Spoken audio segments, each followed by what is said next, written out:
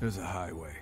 It stretches across the 93 days of summer, where worship isn't offered to the sun, but to the smoking tire, the S curve, and the spin turn.